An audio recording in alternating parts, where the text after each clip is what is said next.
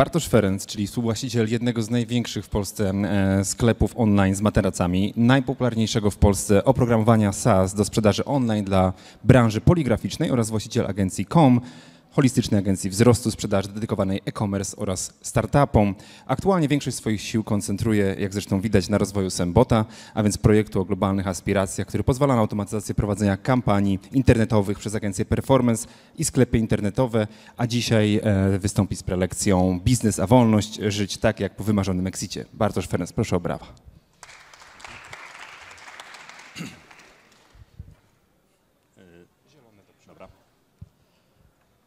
Cześć, nazywam się Bartosz Ferenc. Tak jak tu kolega wspomniał, jestem prezesem Sembota i kilku innych firm i chciałbym Wam opowiedzieć na taki dosyć mm, dziwny temat, ale pasując do tej konferencji. Na tej konferencji jesteśmy w większości przypadków właścicielami firm e, i mamy podobne problemy.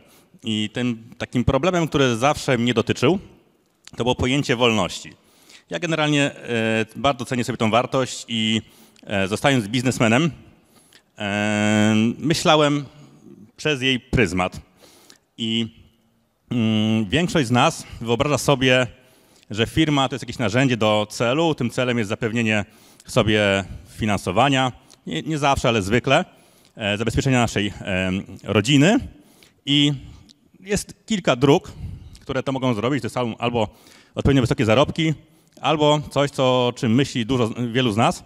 E, to jest exit, czyli sprzedaż firmy i zdobycie majątku. I ta prezentacja porusza, porusza ten temat. I podczas tej prezentacji będę chciał zadać Wam kilka pytań, tak żebyście sami się zastanowili. Nie po to, że interesuje mnie odpowiedź, ale chciałem, żebyście sobie e, takie, mieli takie sprzężenie e, zwrotne w umyśle na temat to, co robicie, w jakim miejscu jesteście i czy to miejsce jest dobre. I to jest taki wykres, który mi się bardzo podoba. Ja go kilka razy pokazywałem na prezentacjach. E, ten, ten wykres pokazuje nam szansę, że umrzemy w danym e, wieku. I to jest wykres log- logarytmiczny. Ja mam 37 lat. Jakbyśmy popatrzyli na ten wykres, to jest ta gruba linia na dole dla mężczyzny. I w wieku 37 lat mam około 4 promili.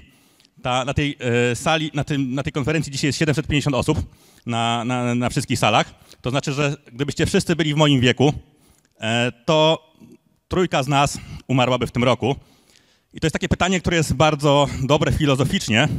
Czy e, akceptujemy to, że to prawdopodobieństwo istnieje i że w każdym kolejnym roku ono będzie rosło i e, to prawdopodobieństwo to jest taki procent składany, to znaczy, w każdym kolej, kolejnym roku ono się sumuje i nawet jest trochę większe, bo się sumuje w tym zbiorze, który już został, e, że tak powiem, wykluczony. I jak sobie to sumujemy, to jesteśmy w stanie szacować prawdopodobieństwo śmierci w jakimś najbliższym okresie. I pytanie jest takie, czy to, co robimy w swoim życiu teraz, jest tym, co chcieliśmy robić. I e, gdybyśmy na przykład już znali odpowiedź, że na przykład umrzemy w tym roku, czy zmienilibyśmy swoje życie? Bo jeżeli tak, to znaczy, że robimy coś nie tak. I warto się zastanowić, czy, e, czy po zadaniu takiego pytania sobie i e, odpowiedzią na to pytanie, że no, chciałbym, to, że moje to życie wyglądało inaczej, to czy możemy coś z tym zrobić? I ja jestem dosyć śmieszną osobą, ponieważ dzisiaj bym powiedział, że w sumie nic bym nie zmieniał w swoim życiu. E, I mm, mógłbym to powiedzieć dopiero od kilku miesięcy, gdyż przez, ostatnie 15 lat pracowałem. Większość tego czasu spędziłem e, przed komputerem. Moje życie było e, dobre, fajne i tak dalej, ale gdybym sobie zadał pytanie, czy chciałbym siedzieć przez kolejny rok przed komputerem, to nigdy. I dzisiaj nie będę siedział przez kolejny rok przed komputerem. I to jest pewna wartość, którą, o której mogę wam powiedzieć, pewne, pewien zbiór wartości, który sobie wypracowałem, jak to u mnie wyglądało i być może kogoś zainspiruje do podjęcia jakichś decyzji w swoim życiu. Nie mówię, że moje życie jest ok i trzeba je naśladować. Mówię, że te pytania, które tutaj e, padną, są na tyle ciekawe, że być może znajdziecie swoją własną drogę, która e, jest inna niż ro, najbliższy rok, który byście przeżyli bez, bez wprowadzenia jakichś zmian. I kim ja jestem? E, no na pytanie biznes a wolność to pasowałoby, żebym był biznesmenem. I generalnie uważam siebie za biznesmena. Według Wikipedii biznesmen to jest osoba, która prowadzi przedsiębiorstwo. Ja ich prowadzę kilka. Jestem właścicielem sklepu Materace dla Ciebie. To jest największy e-commerce z materacami w Polsce. On ma około 30 milionów przychodu. Mam SASA yy, o nazwie Sembot. To jest narzędzie do optymalizacji FIDA. Pracujemy z ponad 200 agencjami w Europie. Yy, to jest pewnie największe narzędzie w tej kategorii. Mam jedną z większych agencji e, performance w Polsce, pracujemy z największymi markami. W naszym portfelu są e, takie firmy jak MediaMarkt, Empik i inne. E, Mam spółkę Tangible Design, która projektuje skórki na WordPressa, sprzedaje to na Ameryce i to fajnie, fajnie śmiga. Mam Eyewear Printa, to jest SaaS kolejny. E, Jestem inwestorem marketing business, posiadam 50% udziałów. E, Jak był COVID, to biznes konferencyjny mm, działał jak działał, więc dogadałem się z Michałem, podniosłem kapitał, zapewniłem bezpieczeństwo i pozwoliło to tej firmie się rozwinąć. Powstał Founders.pl, Founders Mind, e, kolejne edycje, czy Founders Campy i rozwinęliśmy portal Marketing i Biznes.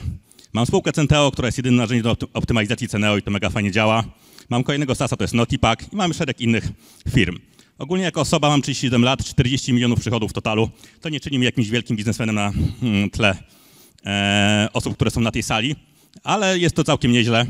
15 lat doświadczenia i e, nie licząc materacy, które były wcześniej, miałem wzrost o 300% przez kilka ostatnich lat z rzędu, więc to czyni mnie raczej e, przedsiębiorcą, który jest sprawny. I żebyśmy sobie to wyjaśnili, wszystko z własnej pracy, czyli od zera do tej pozycji, czyli nie miałem jakichś tam mm, bonusów, ani dotacji, ani rodziców z pieniędzmi. Wszystko stało zbudowane. I tą rzeczą, która jest tu e, szczególna, e, to mm, mam taki wartość, która jest dla mnie najważniejsza, najważniejsza, to jest wolność. I wszystko, co robiłem, to przez ten pryzmat tej wolności e, padało. Więc e, e, nie wiem, ilu, dla, ilu, dla ilu z Was wolność jest istotna, ale ja nie jestem w stanie mieć kontroli nad sobą, nie jestem w stanie, e, żeby ktoś mi mówił, co mam robić. I e, zawsze musiałem wszystko robić sam. I jednocześnie chciałem widzieć życie, które mm, jest nieskrępowane. I wierzyłem, że biznes jest takie życie w stanie zapewnić. I tak prowadziłem swoją ścieżkę zawodową. I mogę powiedzieć, że jestem wolnym biznesmenem, gdyż e, nie muszę być w firmie prawie w ogóle. Moje obowiązki dzisiaj to jest kilka godzin e, w tygodniu maksymalnie. E, nikt do mnie nie pisze, nikt do mnie nie dzwoni, nie, dzwonią do mnie pracownicy, klienci do mnie nie dzwonią. E, gdybym zniknął, to bym mógł się w firmie nie pojawiać pewnie do wypłat, kiedy trzeba ludziom policzyć, jaki jest, e, jaka jest premia od wyników przedsiębiorstwa i nikt by tego nie zauważył.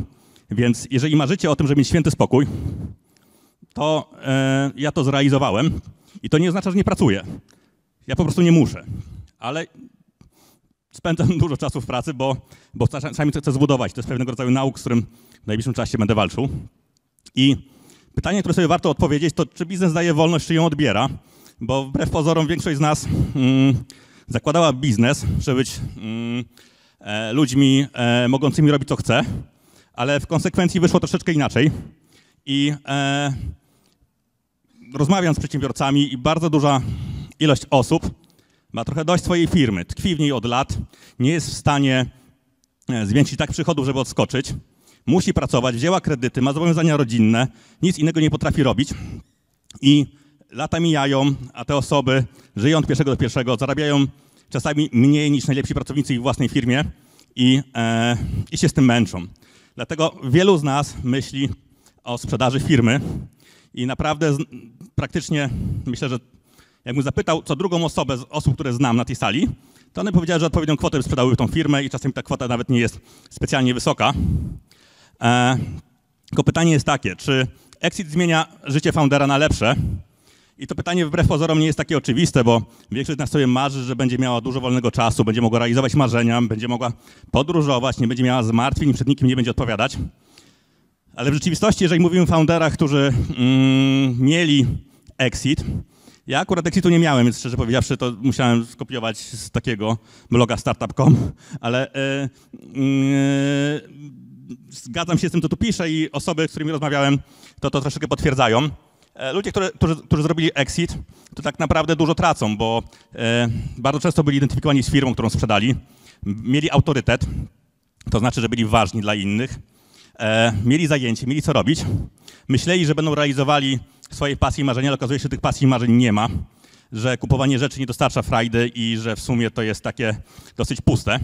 I kończy się tym, że łapią depresję i po jakimś czasie otwierają kolejny startup. Co w zasadzie jest trochę przerażające dla mnie, ale mniej więcej tak wyglądało to nawet u mnie, kiedy nie miałem exitu, bo jak się nudziłem, to otwierałem, kolejny biznes. Większość tych biznesów uruchomiłem dlatego, że się nudziłem, a nic innego nie potrafiłem sobie znaleźć, ale nieumiejętność znalezienia sobie czegoś innego jest ułomnością, z którą można walczyć, więc szczerze powiedziawszy, to jest fajny obszar do dalszej pracy. I w ogóle ludzie o czym nie myślą, to, to że exit nie jest łatwy. Ile znacie osób, które sprzedały firmę?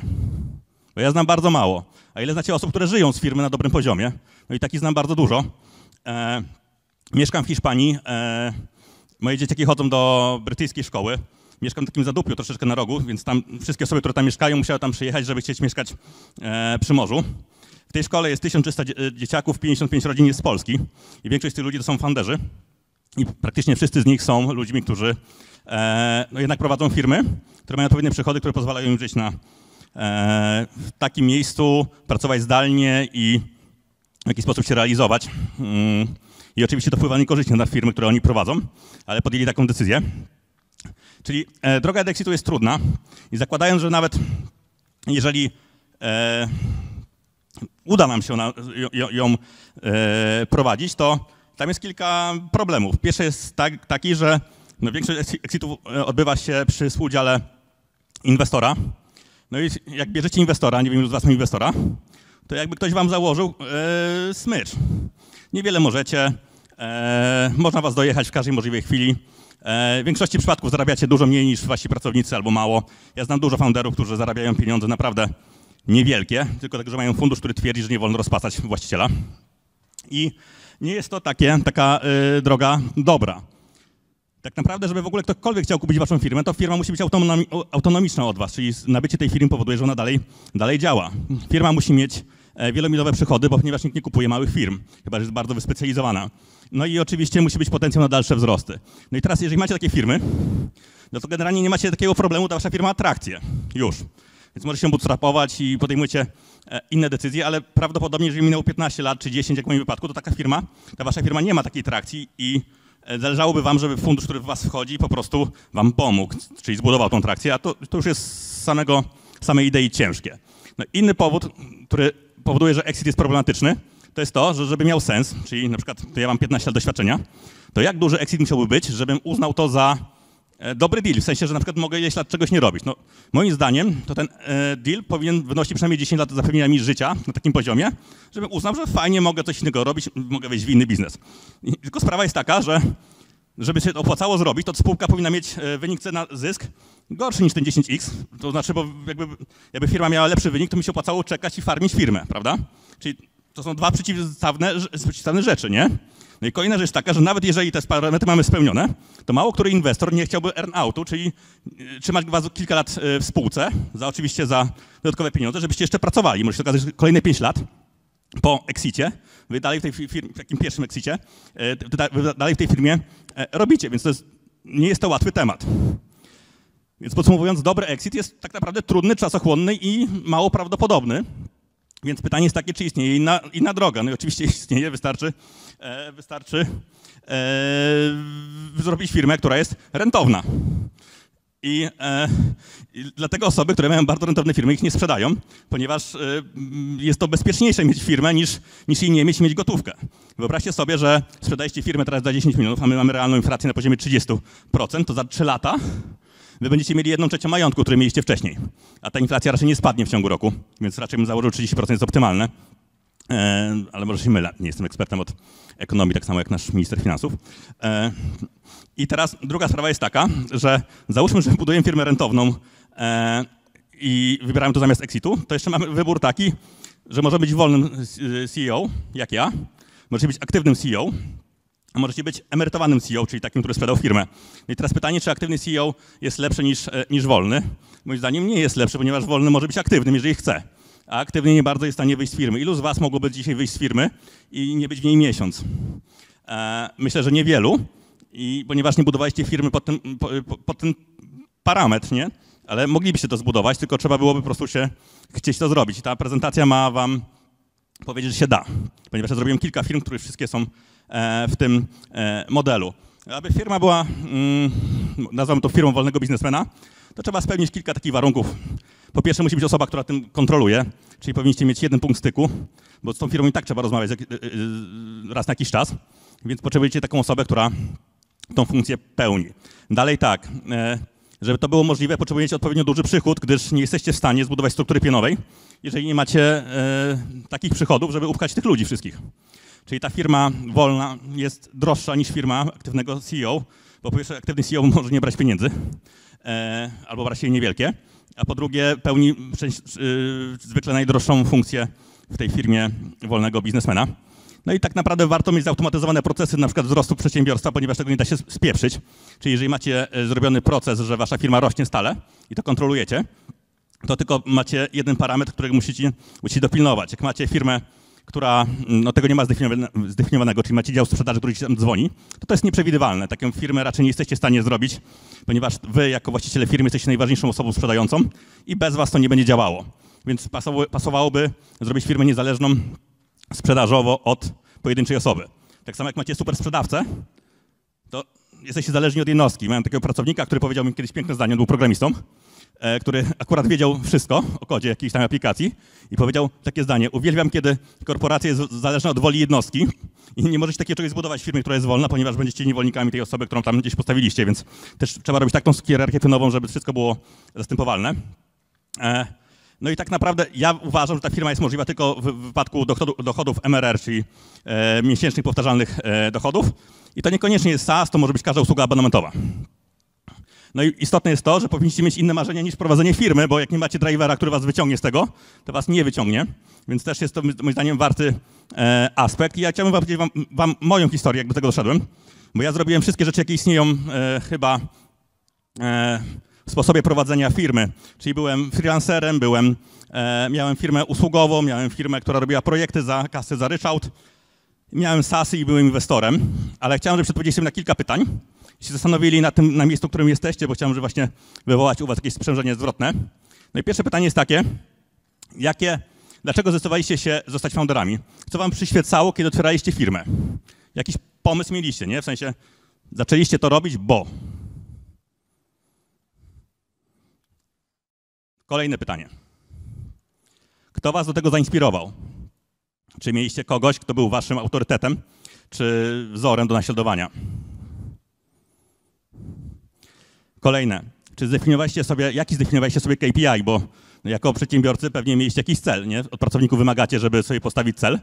E, czy jak prowadzicie firmę, to na pewno mieliście cel, e, kiedy uznacie, że osiągnęliście, nie wiem, sukces.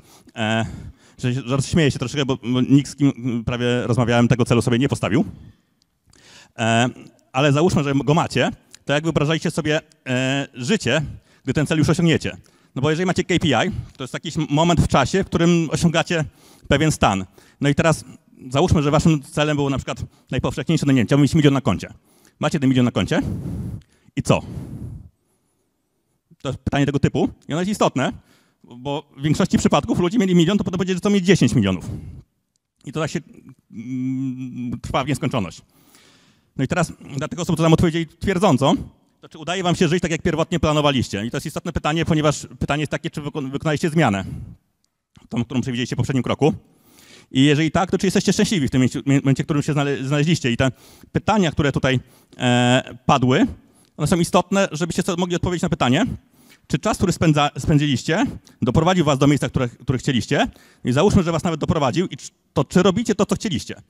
Jeżeli nie, no to możecie się zastanowić, czy nie wykonać jakiejkolwiek zmiany. Ja zadałem to pytanie wielu osobom na LinkedInie. Dostałem odpowiedzi wszystkie możliwe. Szczerze powiedziawszy, to jest niereprezentatywne, ale głównie ludzie chcieli, e, jak, startowali z firmą, to chcieli być bogaci. Ja akurat tego celu nie miałem, ale go, go, go, go rozumiem. E, e, w większości przypadków nie mieli jakiejś większej inspiracji, bo, uważali, że biznes daje im po prostu możliwości odskoczenia. Definicją sukcesu była ilość mm, pieniędzy. W większości przypadków to są ludzie z mojego rocznika, to mówili o milionie, który jest absurdalnie niewielką kwotą dzisiaj, jakby porównać biznes do wartości środków trwałych. I wszyscy ci ludzie żyją tak, jak żyją, a nie są specjalnie zadowoleni, ani są zado- niezadowoleni. I e, moje 15 lat e, kariery bizn- biznesowej poświęciłem tak naprawdę realizacji celu, który sobie wymyśliłem na początku, kiedy startowałem. A mój cel był dosyć głupi, ponieważ ja e, kończę studia, to ja chciałem podróżować. Chciałem jeść i w sumie chciałem móc być w dowolnym miejscu e, i zarabiać pieniądze pasywnie, żeby mi, żebym nie musiał, nie wiem, robić rzeczy, na które nie mam ochoty, po prostu mógł jechać dalej, zarobić jakieś pieniądze. I skąd taki pomysł? A on wynika z ins- ins- inspiracji, którą miałem z domu. Mój o 5 lat młodszy brat, był wtedy niepełnoletni, miał 18 lat, zrobił serwis darmowe tapety.pl, które w 2007 roku miały milion unique userów. To były takie czasy, kiedy na telefonach się miało tapetę i ludzie to zmieniali. Potem pojawiały się, e, pojawiły się iPhony i inne takie rzeczy i te, e, te aplikacje przestały mieć sens, ten biznes umarł, ale w 2007 roku on miał 10 tysięcy złotych przychodu z reklam displayowych jako 17-latek. I Ja popatrzyłem na to jako student, że w sumie zrobię 10 takich serwisów, będę miał kupę hajsu i nie będę musiał nic robić. To było pozycjonowanie, tam nie było człowieka. To był biz- biznes, strona internetowa plus SEO. E, więc zdefiniowałem sobie sukces, tak, że bardzo podobał mi się Ojcowski Park Narodowy, chciałem mieć tam dom, dom. Wtedy nie wiedziałem, że po pierwsze w Parku Ojcowskim nie wolno budować, e, więc można kupić tylko nieruchomości, można kupić barak za parę baniek. Po drugie, że chodzą wam turyści koło okna i się tłuką cały czas. To był zły pomysł, no ale nieważne, taki był plan. Potem kilka, kilkanaście takich serwisów, jak e, mój brat miał, żeby mieć dużo kasy i żeby to było pasywne. E, No i zakładałem, że koło trzech dych to mi na wszystko starczy w życiu. E, No i chciałem dużo nie pracować, żeby mógł jeździć, nie? Ale uważam, że tam to SEO trzeba zrobić i tak dalej.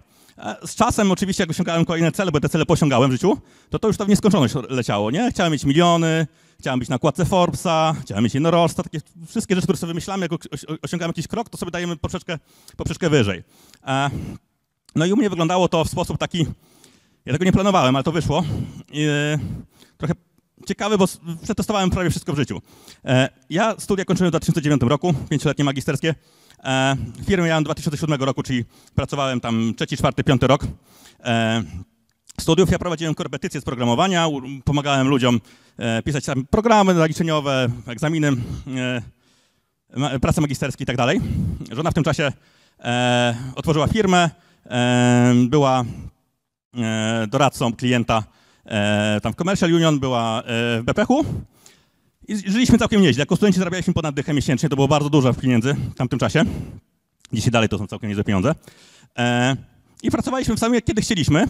E, to miało kilka, e, kilka problemów. No, przede wszystkim to były ro, robocze godziny. A z ciekawszych rzeczy, które nam się udało tam zrobić, e, no to biorąc pod uwagę, że już rozwijaliśmy w tym kierunku SEO, e, to na przykład zrobiliśmy stronę bank-bph.pl, którą wypozycjonowaliśmy wyżej niż stronę banku. E, Na szczęście ktoś uznał, że to jest całkiem zabawne i pokazali ją po prostu usunąć, ale, ale klientów tego było dużo. To nie był scam, bo Ania miała ten, e, była mobilnym doradcą klienta biznesowego i w ogóle nawet mogła to zrobić tak formalnie, patrząc tą umowę, dlatego pewnie też się nas jakoś nie ścigali. A to były takie czasy, kiedy bank BPH został wchłonięty przez PKO, nie wiem czy pamiętacie te czasy, e, po czym to UOKiK zablokował i okazało się, że bank BPH zostaje, ale został bez klientów. No i ten bank BPH był najlepszym bankiem e, korporacyjnym, a PKO nie. Jak to pewnie wiecie, nie? I e, klienci chcieli wracać do BPH, więc oni no, hurtowo przenosili swoje kredyty z powrotem, bo była prosta ścieżka wdrożenia, no i to naprawdę był intratny biznes. Więc jedną rzecz, którą zrobiliśmy, to był bank BPH, BPH który był wyżej na bank BPH, e, na BPH Wrocław niż bank, więc tych klientów z Wrocławia bukaliśmy jak pelikany.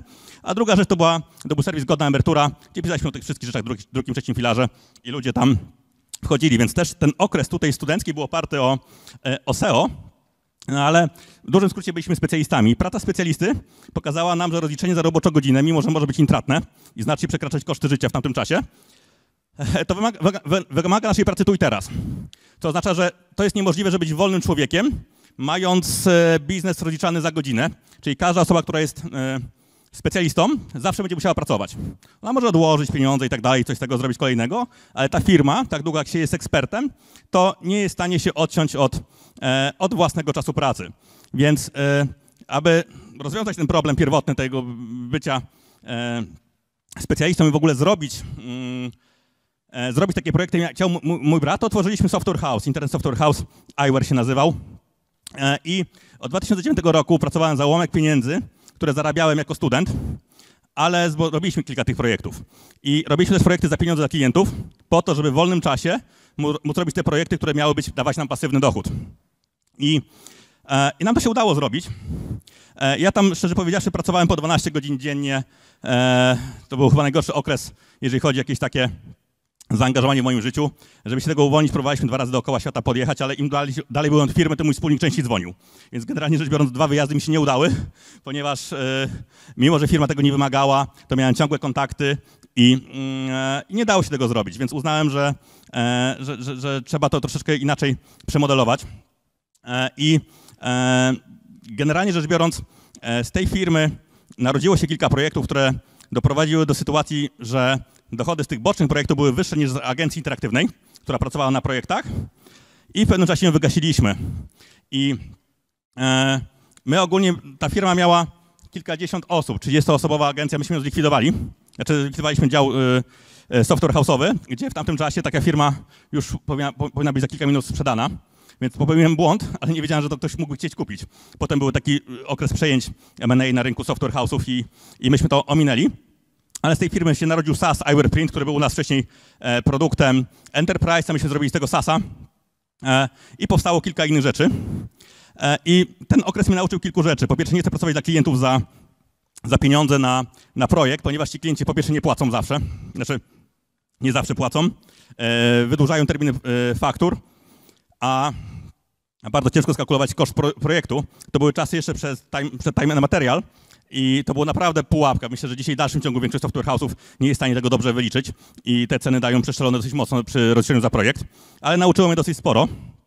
E, ale przede wszystkim w 2011 roku powstał sklep Materacy dla Ciebie, który zrobiliśmy.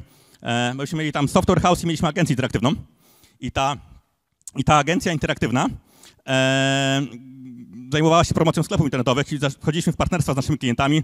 Zrobiliśmy spółkę 50 na 50 z, e, z producentem. E, po roku czasu byliśmy pierwsi na Frazę Materace. Dzisiaj ta spółka ma 30 milionów e, złotych przychodu i mm, przez długi okres była moim głównym e, źródłem finansowania. I myśmy popełnili błąd, bo po roku działalności tego sklepu ja już mogłem żyć tak, jak wymarzyłem sobie, ale wymyśliłem sobie, że jak to tak ładnie rośnie, to sobie otworzę fabrykę, zrobię sobie firmę logistyczną, żeby to wozić, bo materacy nikt nie wnosił, więc musisz zrobić sobie własny transport. Kupiliśmy kilka Mercedesów, sprinterów i ogólnie otworzyliśmy 11 sklepów stacjonarnych. Okazało się, że, to spowodowało, że zatrudniliśmy kilkadziesiąt osób, e, przychody nam wzrosły, a zysk się nie zmienił, ale odpowiedzialność znacznie zwiększa, wzrosła. Mieliśmy firmę, która miała 5 osób i robiła wtedy 10 baniek, a potem mieliśmy firmę, która miała 80 osób i robiła tych milionów 16. I to ogromne obciążenie, szczególnie, że ten biznes jest sezonowy i ma różne e, wzloty i upadki. No i my dzisiaj wróciliśmy do czystego e-commerce. Dzisiaj mamy na 30 milionów przychodu mamy 5 pracowników i 3 wspólników. To jest biznes, gdzie na jednego pracownika przypada 6 baniek. I, mm, jeden, I tych 5 pracowników to jest call center. Plus jeden programista w sumie na zleceniu jeszcze. I e-commerce mnie nauczył kilka rzeczy, ma, ma sporo plusów, dopóki jest czystym e-commerce'em, ale e-commerce mają często sufit i część tutaj osób ma agencje interaktywne, to wie o tym, że taki sklep można łatwo wypromować do jakiegoś przychodu, ale potem się go ciężko skaluje i na przykład w tym e-commerce ma taką pułapkę, że większy być nie może, ale jednocześnie e, jest to intratna rzecz, więc w modelu wolnego biznesmena to sklep internetowy się akurat sprawdza, jeżeli się rozwiąże kilka przypadków. E, tu mamy coś na temat tego exitu, bo my tą firmę chcieliśmy sprzedać. Mieliśmy dwa podejścia do, do inwestora. Jeden to był taki wiodący fundusz venture w tym kraju, znaczy dalej wiodący. E, I myśmy chcieli tworzyć 100 sklepów stacjonarnych, pójść reklamę w telewizji, bo nie znacie pewnie żadnej marki materacy, więc uznaliśmy, że jak zaczniemy tłuc reklamę telewizyjną, to zrobimy coś takiego, że jak ktoś powie materacy, to będziemy miał materacy dla ciebie a, i dorwiemy się do tego tortu. Tylko żeby zrobić reklamę telewizyjną, to no jedna reklama kosztuje kilkaset tysięcy złotych, więc tak naprawdę taka kampania dobrze zrobiona to jest kilkanaście milionów. No nie mieliśmy tych pieniędzy. Nie byliśmy w stanie tego sfinansować e, z przepływów pieniężnych. Więc dogadaliśmy się z jednym z najwyższych funduszy, że byliśmy całkiem daleko. Tylko jak dostaliśmy umowę już taką ostateczną, to fundusz powiedział tak, że może na przykład podnieść kapitał zakładowy przedsiębiorstwa. To oznacza, że jeżeli inwestycja, inwestycja wynosiłaby na przykład 25 milionów złotych, to podniesienie kapitału zakładowego po, po, e, oznacza, że my, nawet mając większość udziałów, musimy proporcjonalnie pokryć e, kapitał zakładowy, jak fundusz. Jeżeli, jeżeli fundusz ma pieniądze, a my ich nie mamy, to to fundusz podnosi kapitał zakładowy i nam udziały spadają. Czyli fundusz nam klepnął, że, że bierze 30%. Tylko, że mógł, mógł dzień później powiedzieć, ok, podnosimy kapitał zakładowy o 50 baniek i my wypadamy z biznesu jako właściciele. Mieli prawa weta, to jeszcze można pewnie przełknąć, ale na przykład mieli taki zapis, że w przypadku, kiedy inwestycja by się nie udała, to mają prawo sprzedać e, ka- m- majątek firma. Firma miała już kilkanaście sklepów i hale fabryczne o powierzchni 4000 m2, co tak naprawdę mogliby od razu sprzedać. Więc myśmy z tego zrezygnowali. Uznaliśmy, że to, że zabawa z funduszami jest nie do końca tym, co chcielibyśmy zrobić. I drugą przykład, przykład jaki mieliśmy, to był jeden z większych, e, jeden z większych holdingów polskich, chciał nas kupić, zrobić M&A, ale popatrzył na naszą firmę, powiedział, chłopaki, wy macie halę produkcyjną, fabrykę, pracowników, zróbcie z tego prosty e-commerce, e, to pogadamy. Pomyśleliśmy, zlikwidowaliśmy halę, E, uprościliśmy biznes do takiej postaci, jak był wcześniej, ale jak to się nam ładnie zaczęło kręcić, to znaliśmy, że nie chcemy tego tematu dalej ciągnąć, więc można powiedzieć, że nam, e, nas, nas holding zmusił psychicznie do takiej pracy, żebyśmy osiągnęli firmę, jaką chcieliśmy, e, więc jestem bardzo wdzięczny e, temu i firmy nie chcę sprzedać. Kolejna rzecz, która tam się pojawiła, to zbudowaliśmy Sembota i Sembot to jest narzędzie, które zarządza fitem produktowym.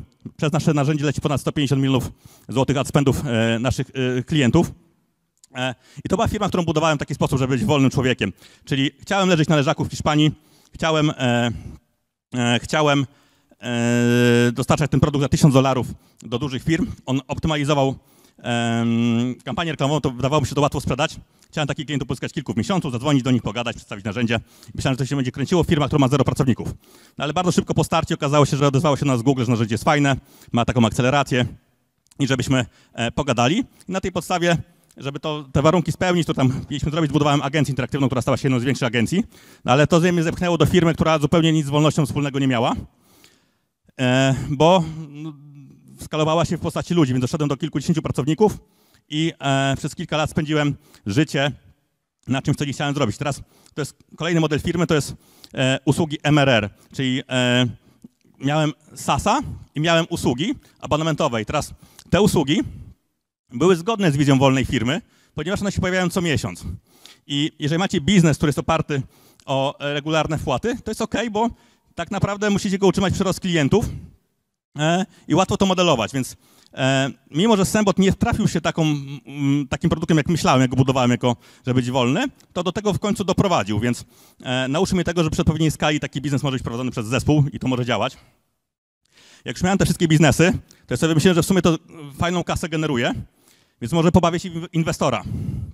E, I e, wyszedłem z założenia, że jak dam ludziom pieniądze, to któryś z tych projektów tym ludziom wyjdzie i on będzie spełniał e, te przesłanki. Bo ja dałem pieniądze i potem odbieram jakąś sobie dywidendę.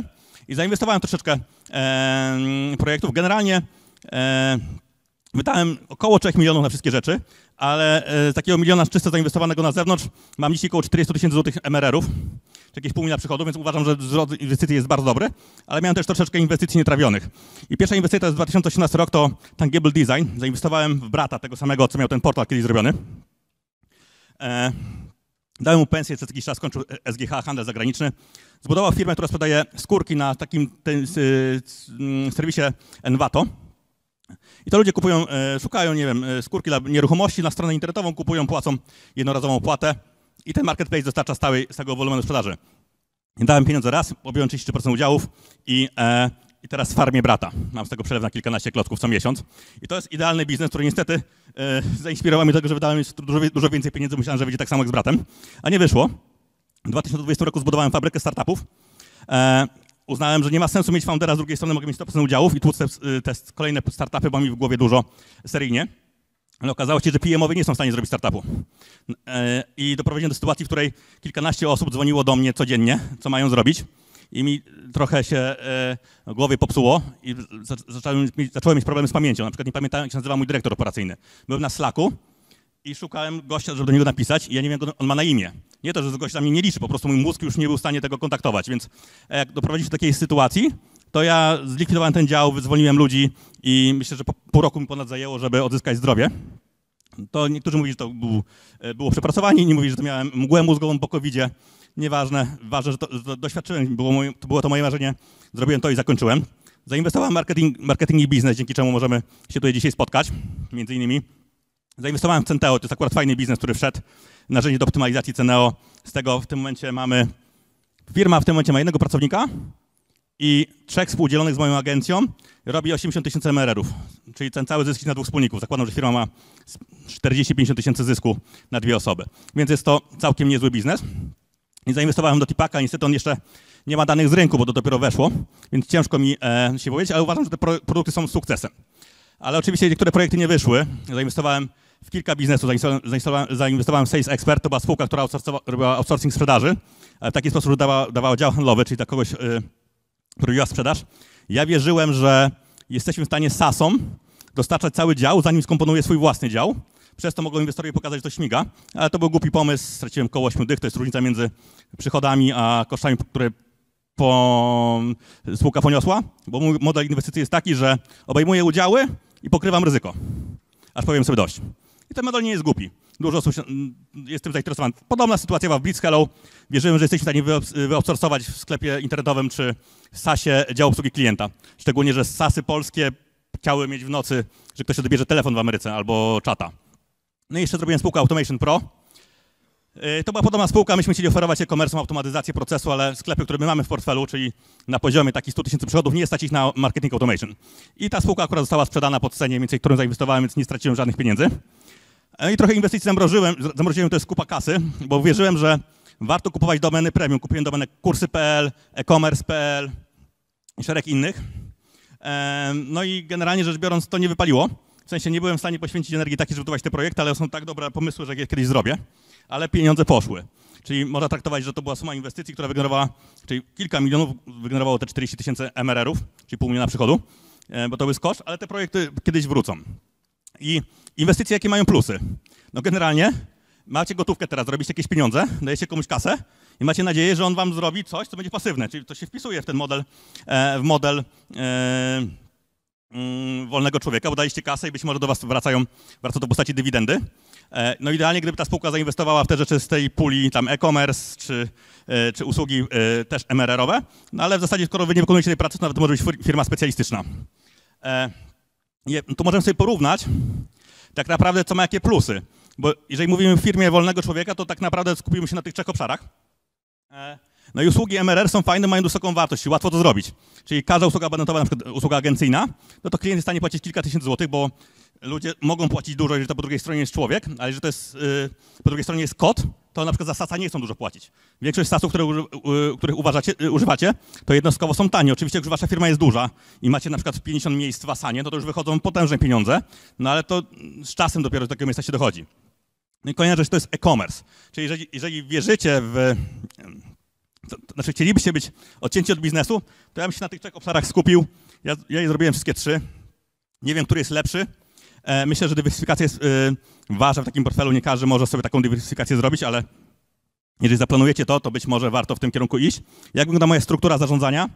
E, ja szczerze powiedziawszy mam bardzo płaską strukturę. Znaczy bardzo mm, dla mnie płaską, bo jest tam tylko Michał Zieliński, który jest e, e, CEO Sembota i on nadzoruje wszystkie pozostałe te spółki usługowe. Więc jedna osoba, która do mnie mówi, to jest Michał. Mam jeszcze wspólnika Grześka, który ze, mną- ze mną rozmawia, jak jest jakiś problem, ale pobiera wynagrodzenie za tamte spółki, czy ja zarabiam mniej niż mój aktywny wspólnik. I można powiedzieć, że mam dywidendę zysku, ale nic nie robię. A pozostałych spółkach, czyli Tangible Design, Marketing i Biznes, no Tipak, jak się w ogóle, w ogóle operacyjnie nie mieszam. E, ewentualnie zabezpieczam finansowo e, potrzeby tych spółek.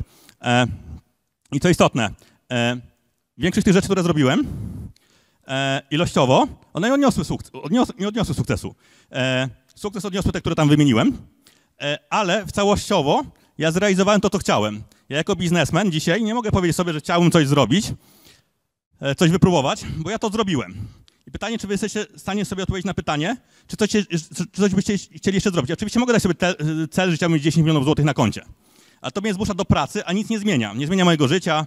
Nie jest to biznes, który dostarcza jakiejkolwiek e, e, dalszej zmiany. Więc e, uważam, że jeżeli zmiana nie następuje, to nie ma co sobie podnosić poprzeczki. Warto sobie po prostu zmienić dziedzinę, w której się e, poruszamy. Ja sobie wyznaczyłem takie KPI. -e.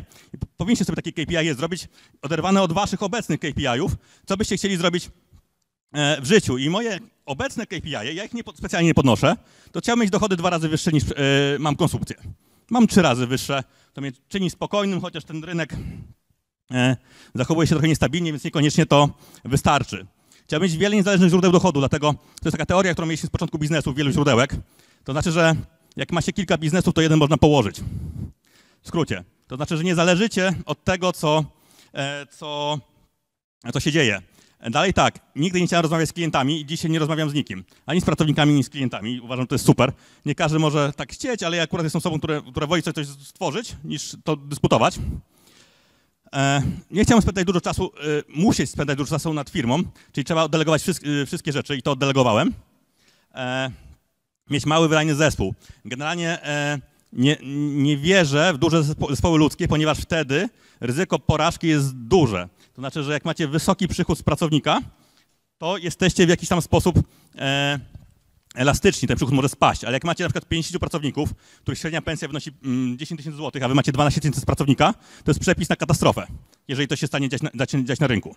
E, kolejna rzecz, której nie udało mi się zrobić akurat, to jest rozproszenie y, geolokacyjne przychodów. Ja mieszkam w Hiszpanii i e, w ciągu roku mój koszt życia pos- poszedł w górę około 30%. 30%. 20% to jest rozmiana kursu złotówki do euro, a 10% to jest e, inflacja w Hiszpanii.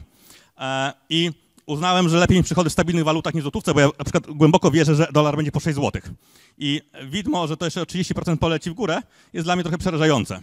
I dalej e, istotna rzecz, którą warto mieć, gdy miałem ten KPI, to jest wyznaczenie e, deadline'u i dotrzymanie go. I dla mnie deadline'em była ta konferencja. Ja o niej wiedziałem ponad rok temu, powiedziałem sobie, kończę biznes do tego czasu.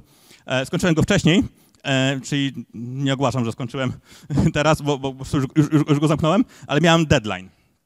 I jak wyobrażałem sobie życie, i to jest taki, y, jak ten cel osiągnę, bo zakładam, że już go osiągnąłem.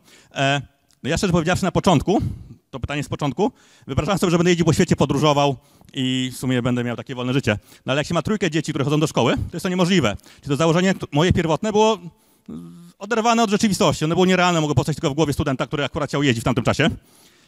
A co nie zmienia faktu, że ja o tym wiedziałem od dłuższego czasu, że jest nierealne i to niewiele e, niewiele zmienia.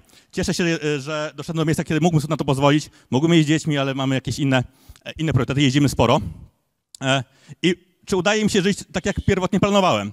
E, Myślę, że e, zmienił tą pi- pierwotny plan na życie takie, żeby realizować rzeczy, które chcę, a rzeczy, które chcę, myślę, że mm, mm, każdy z was może sobie zrobić taką listę rzeczy, które, e, które chciałby zrobić. Ja zrobiłem z żoną kiedyś taką listę. Jakby myśleliśmy wszystkie rzeczy, które możemy zrobić, które chcielibyśmy zrobić, tak- czyli bucket listę, uzbieraliśmy 55 rzeczy w dwójkę. Postarajcie sobie zrobić, bo naprawdę jest to ciężko natłuc. I e, finalny cel okazał się błędny, ale e, uważam, że to miejsce, w którym jestem, jestem zadowolony. I tu chciałem wam pokazać, jak się zmieniały jakieś takie parametry e, życiowe w- e, u mnie w czasie. I e, żeby być wolnym człowiekiem, to rozumiałem to, że nie muszę pracować w, e, cały dzień. A jak widzicie, większość mojego życia była e, pracą pod korek, to są te czerwone linie. I przez pierwsze kilka lat, jak budowałem iWare'a, pracowałem cały czas.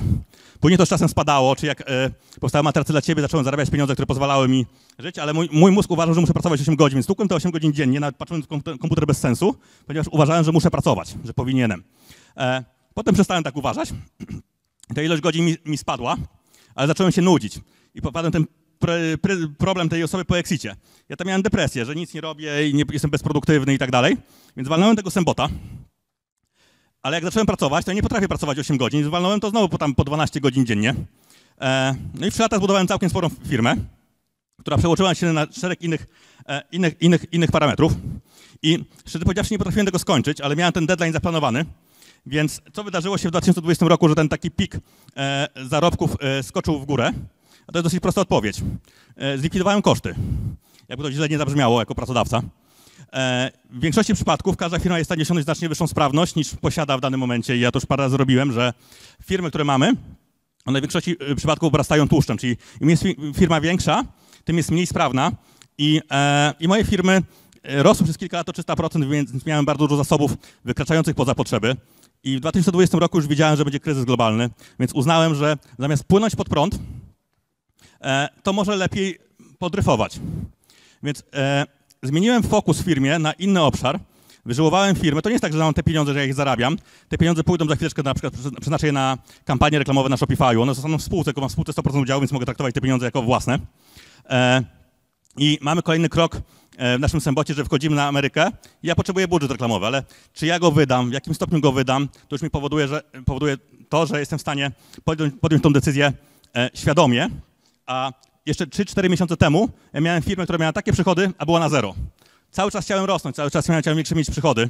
Dopiero, w momencie, kiedy, kiedy dopiero zobaczyłem, że klienci zaczynają mieć problemy z płatnością faktur i coraz więcej klientów mi wierzy na drugą fakturę przeterminowaną, znaczy w sensie druga faktura się poja- pojawia, to uznałem, że będzie gorzej w naszym kraju, jeżeli chodzi o rynek, rynek e, płatności, więc e, zdecydowałem się odpuścić. Odpuściłem grubo. Jeżeli wasza firma jest, ma odpowiednio duże przychody, ma odpowiednio dużo pracowników, macie pole do optymalizacji, zastanówcie się, czy tej optymalizacji nie chcielibyście e, wykonać. I druga rzecz, która jest pułapką na tym wykresu można, można zrobić, to jest to, że koszty życia zwykle rosną proporcjonalnie do przychodów i w pewnym momencie nie jesteście w stanie rezygnować z rzeczy, które, e, które gdzieś tam e, macie. I w moim przypadku e, to jest taka pułapka, której, która powoduje, że gdybym nie miał farta od odpowiednio dużej e, skali przedsiębiorstwa, to byłbym w pułapce, gdyż e, mam trójkę dzieci, one chodzą do brytyjskiej szkoły, to kosztuje około 3000 euro, e, to w porównaniu do trójkę dzieci, co w porównaniu do cen warszawskich, gdzie tu szkoła chyba ta w Konstancinie kosztuje dychę za miesiąc, to i tak jest jedna druga ceny warszawskich. Wynajmuję dom, ten dom też kosztuje około 3000 euro i to jest cena też warszawska tak naprawdę za, za, za, za, za większą chatę. E, Jak się te rzeczy złoży do kupy, mam osobę, która mi pomaga, to jest sporo i okazuje się, że potem rezygnacja e, z tych rzeczy jest trudna, bo obniża standard życia. My bardzo często pracujemy tylko dlatego, że mamy coraz większe zobowiązania. Ja prawdopodobnie 5 lat temu mieszkałem e, w Suistrowicach, to jest takie zadupie pod Wrocławiem. Ja tam miałem dom wynajmowany za 2000 zł. Ja myślę, że jakbym tam mieszkał i moje dzieci chodziły do lokalnej szkoły, to nie byłbym specjalnie mniej szczęśliwy, ale nie miałem takiego zobowiązania. Akurat w moim przypadku udało się natłuc takie przychody, że jestem w stanie to zaspokoić, ale jestem w pułapce i w tej pułapce byłem. Czyli do momentu, kiedy nie podjąłem tej decyzji o redukcji przedsiębiorstwa, ja musiałem pracować, żeby utrzymać rodzinę. Niezależnie od wysokości przychodów. I, e, I to jest powtarzalny model, który doświadczyło większość osób, które mieszka tam koło mnie, z którymi rozmawiam i powinniście na to e, też zwrócić uwagę, czy, czy ucieczka z, z konsumpcją ma jakikolwiek sens. Moim zdaniem e, nie ma. Ostatnie pytanie z tamtej listy. E, czy jestem szczęśliwy w miejscu, w którym się znajduję? Myślę, że ta decyzja o redukcji przedsiębiorstwa na dzisiaj uważam, że to była najlepsza decyzja w moim, e, e, moim życiu. My realizujemy wszystkie korowe funkcje w naszej firmie, a jednocześnie firma stała się rentowna. Całe napięcie znikło, moje napięcie znikło wobec e, pracowników, wobec sytuacji. Pracownicy są spokojniejsi, ci, co, ci zostali w firmie. E, generalnie idziemy do przodu, ale ten biznes jest spokojny. My na tej konferencji pewnie słyszeliśmy, słyszeliście wielokrotnie, że warto dojść do przodu, podnosić sobie poprzeczkę, znaczać sobie, to- sobie coraz bardziej ambitne cele. Uważam, że ta droga jest donikąd, jeżeli nie ma postawionego końca. Ja postawiłem koniec i tą drogę e, zakończyłem, więc e, pytanie, które się mogłoby pojawić, co dalej? Nie wiem, co dalej. Nie mam jakichkolwiek e, planów. Nie chcę po prostu spędzić kolejnych 15 lat przed komputerem. Na razie sobie ścinam rzeczy z bucket listy, od bardzo prostych do bardziej złożone i tak ten czas e, spędzę.